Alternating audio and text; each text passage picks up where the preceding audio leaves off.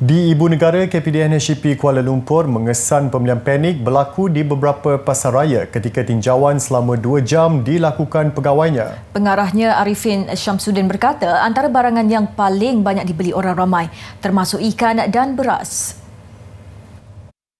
Jadi situasi yang berlaku pada pagi tadi adalah amat menduka citakan dan KPDN HCP saya sendiri telah mengarahkan uh, pegawai-pegawai saya untuk mengambil langkah segera terus ke lokasi dan kita mengawal lah keadaan panic buying ini. Untuk panic buying pagi tadi kita dapati eh, contoh barang yang paling banyak dibeli adalah seperti telur, ikan dan beras. Jadi kalau ikan ni bila you beli banyak-banyak, ah, bila beli banyak-banyak, dia akan ada luputnya, ada busuknya. Sama juga telur, beli sampai berpaket-paket, Maggi berpaket-paket. Semua tu ada expiry date.